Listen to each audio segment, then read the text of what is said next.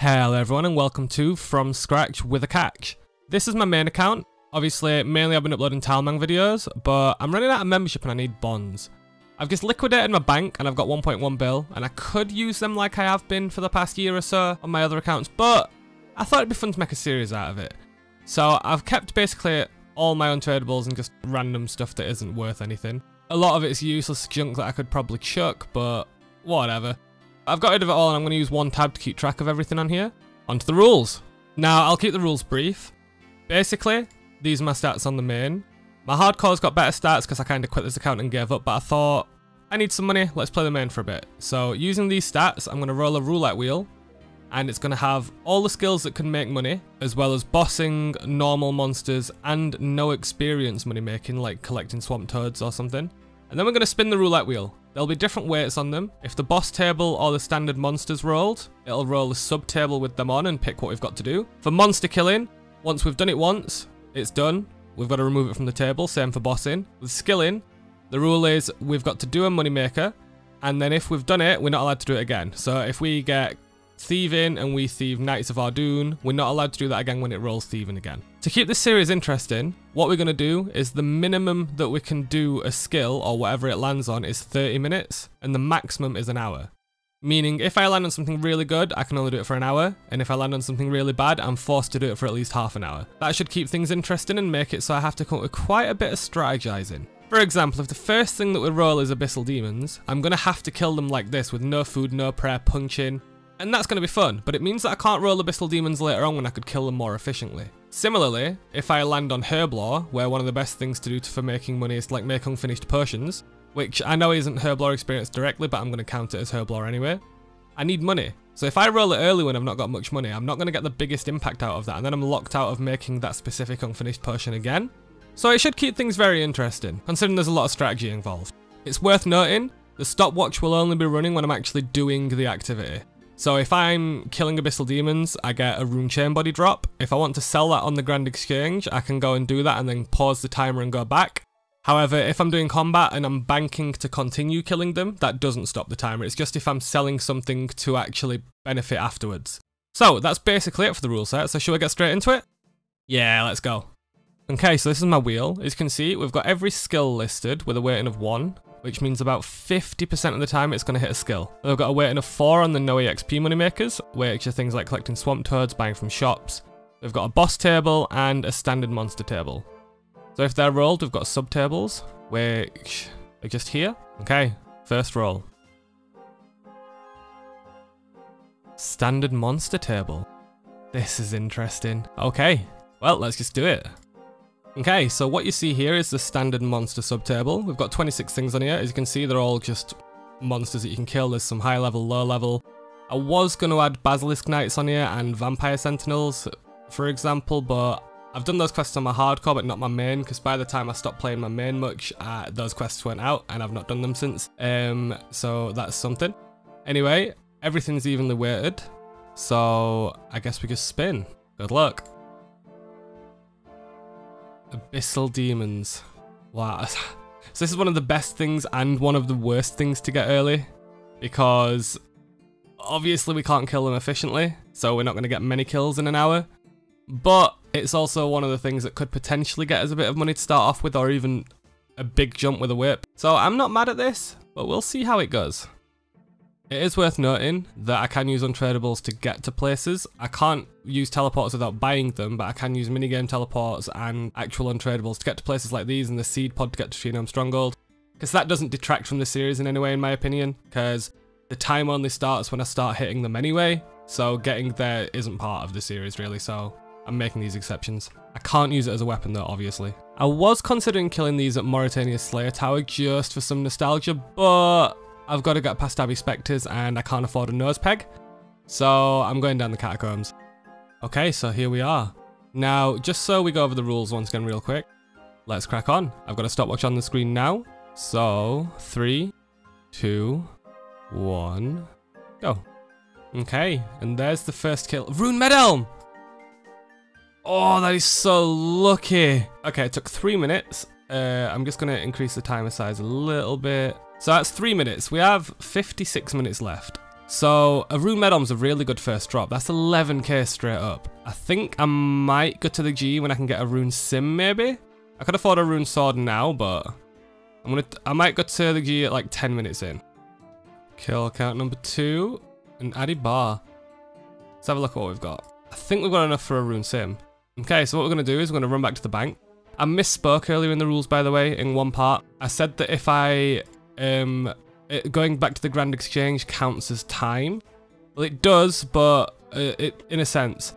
Because banking counts as time, as soon as I am at a bank, I'm allowed to pause the timer and then go buy and sell things and then come back. However, I have to come back and start the timer from the bank that I banked at. So, for example, I'm going to go upstairs here and bank. When I hit the bank, I can pause the timer. I can go to the Grand Exchange, but I've got to come back to the bank to start the timer. And that's the fairest that I think I can do it without wasting too much time buying stuff. Timer paused. 8 minutes 7, 2 Abyssal Demon kills, and we've got quite a bit of money. Just bank to get a Royal Seed Pod just to tree there, it'll be a bit quicker. Okay, so I've just sold the loot, and we've got 17,000, so let's see what we can buy. Rune Scimitar obtained. We've got a little bit more money, but I'm probably just going to keep that as money for now. Back to demons. And we're off. Okay, third kill. Took less than two minutes. This is a lot quicker. I'm just going to pick up everything for money. Now, I'm going to drop this for now because I've not come to terms with what I should do for clues. Maybe I stack them in the bank and if I roll it, I can do the clues that I've currently obtained. Or I could just do the clues straight up. And would the count as part of the time? I might run a little poll at some point and see what people think on that. But for now, for this episode, I'm not going to do clues. Not a bad drop, Ensouled Abyssal Head. Um, and that's a full ink, so I'm going to have to go bank now. The next step's to get a Dragon Simi. I don't really care about any armor pieces yet, so I don't think I've quite got enough. I've got just over 50k right now. I'm going to go bank this, pray at the altar, and then run straight back, so no pausing the timer this time. Also, we're about halfway through. I could stop killing them now and reroll, but considering I can't kill them again, I think it goes without saying that I'm going to kill these the entire hour. Not bad, just got a runner. I'm quite lucky that this as like my first combat task, because Abyssal Ashes add up, like, I'm at 25 kills already in 40 minutes, and that's like 50k. Just banked another Ingv, and I now have 9 minutes left. Yes, another rune med, that's huge. It's like a 13k kill. Okay, just got my last kill. I'm not going to get another in 30 seconds, so I'm going to stop the timer. So, let's go back to the G. Okay, this is the current tab. 132k, that's not bad at all, to be honest, for the first one. 132k from nothing in an hour, I'm absolutely fine with that. It's just a shame that I can't get Abbey Demons again. Oh well. So, we're going to roll another task. Let's go.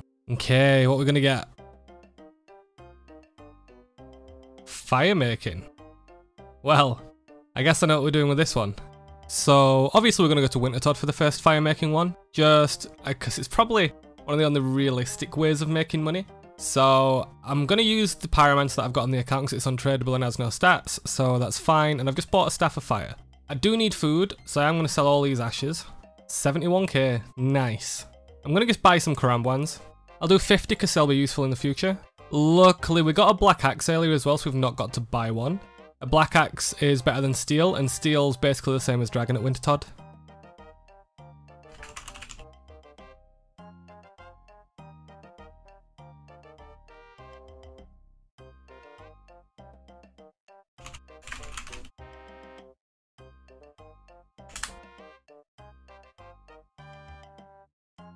I know the tools are there, but it just feels better to buy them.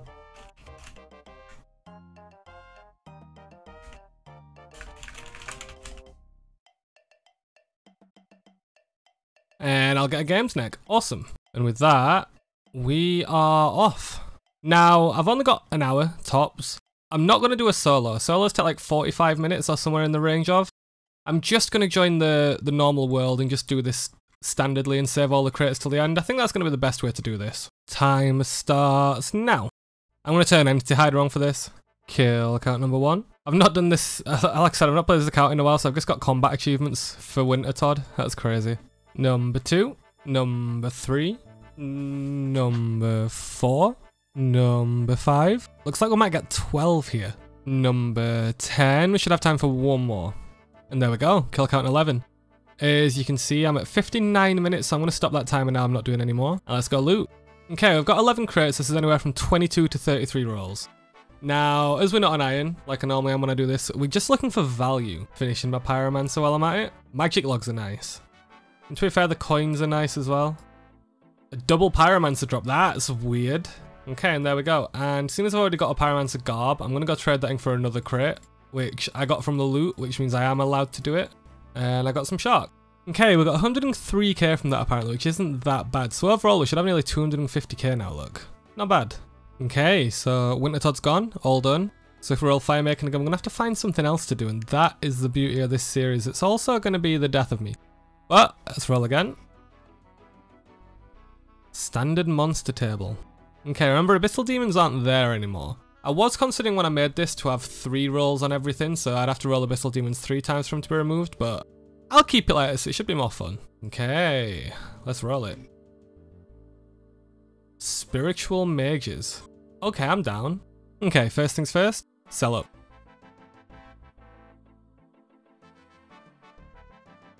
Okay, I've got a few more things in the bank, so that's not bad. Second thing, buy a DSIM. And here we are, an actual decent weapon. This feels good. Okay, so sort of bought God Wars Dungeon.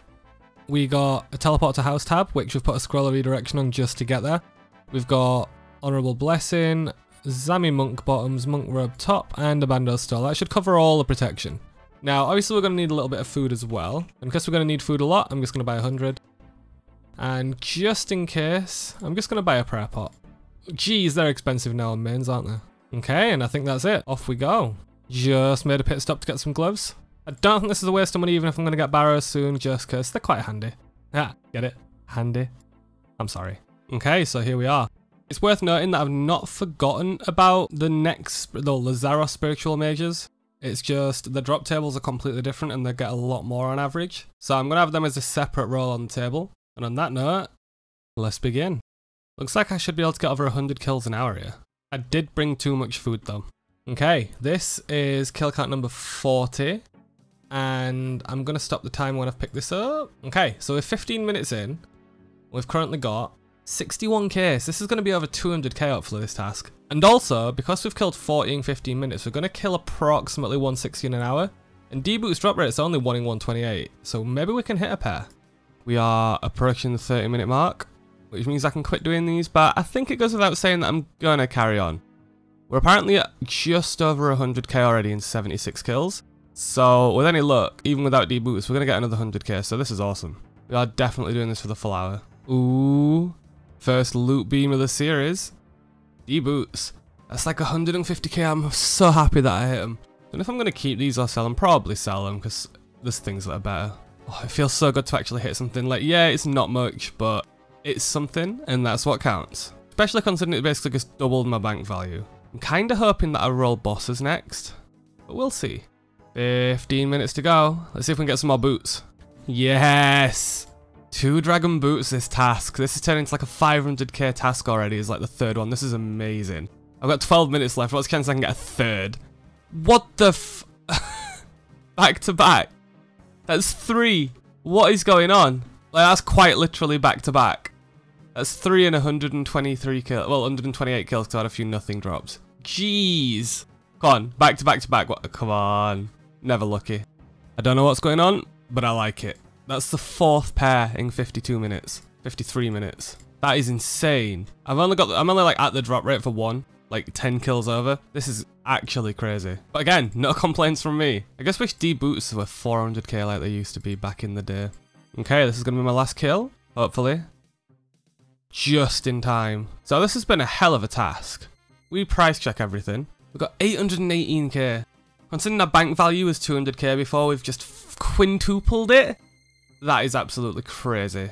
I think I'm going to keep one of these D-boots at this point, just as a token. And because they're decent anyway. That's insane. Let's go roll our next and potentially final thing of the episode. I am thinking about adding some things to this, but I'll go through them at the end of the episode and ask you to leave your opinions in the comments. But for now, wood cutting. I mean, that's nice and chill. Yeah, let's go do some woodcutting. I think it goes without saying that I'm selling a pair of D boots for a dragon axe. And there we are. Now, this is kind of where this series gets a little bit interesting and weird. And I'm not sure if people like it or not or whatever, but rolling woodcutting, obviously we know woodcutting's not a great moneymaker, and once I've done magic logs once and yew logs once, I can't do them again. So if it rolls woodcutting again, I'm going to be forced to cut something like maple, willow. Obviously I can choose to do it for half an hour, but at the end of the day, woodcutting's not going to be that eventful. So let's go see how many magic logs we can cut. I think I may as well go straight for magic off the bat. Okay, so 1k a log. I might get 100k, 200k. I don't know how many I'm going to cut in an hour, but let's just go for it. Well, here we are. We ready? Go. I've not cut magic trees in so long, I don't even know how many to expect. Okay, first inventory complete. Let's get to the bank and pause. So Wanning's worth 29k-ish, and that took 11 minutes and 45 seconds. I mean, it's not that bad, because, what, times this by 5, 5 and a half, we get like 150k. 150k is better than the first two moneymakers we got, so honestly, not that bad. I'm just kind of worried when woodcutting's hit again. Inventory 2. Okay, this is the last fulling because I'm 55 minutes in. Not going to quit here though. I am going to finish the full hour and just see what we get. One, and that's it. No more logs. So I got six more in that like five minutes. Bringing it to a total of 118. 122k, that's not that bad. And I think this is a good place to call it quits on this episode. So we got 133k from the Abyssal Demons, 103k from Wintertodt, 808k from Spiritual Mages, and 122k from Woodcutting. Giving us a total, according to Runelite, of 1.13 mil, which is not bad starting from scratch for one episode. Now, before we go, I do want some opinions on something, so please comment below to any of these. I am thinking about adding some more rules. Not rules, but more things to the roles to make it more interesting. Firstly, we dropped a lot of clue scrolls this episode because I weren't sure whether to incorporate them into the time or not. And I'm thinking about adding a clue scroll roll to the table, and whenever it's hit, the next three clue scrolls that I get, I can do with the timer paused. But every time that I hit it, I get three extra tokens. So if I hit it three times over the next 20 spins, I can do nine clues in total. But I don't get to pick and choose the clues, it's just nine that I hit but I do have to get the caskets for them. So if I do hit like a medium clue from woodcutting, I've got to do it. I can't say no and wait for a hard or an elite. And that also means I'm not going to be doing master clues in this, which could work out good. Also, I want to add a reroll token. So whenever that's landed on, whenever I hit a roll, I am allowed to reroll on one of the tables. And I also want to add one option for an untradeable table. So the untradeable table is just going to simply be a table that when hit allows me to use an untradeable for the rest of the series. So that could be Dragon Defender, it could be a Fighter Torso, uh, Void, Fire Cape, anything like that, just untradables that you can't buy.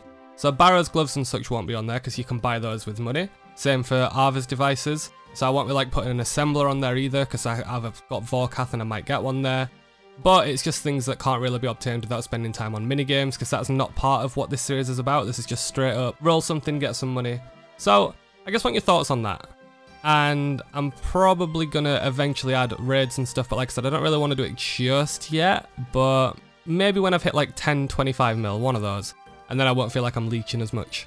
On that note, I hope you enjoyed the episode. If you did, please like and subscribe. I'll be releasing this more than likely every Sunday. If not, it'll be three Sundays every month. And hope to see you next time. Bye.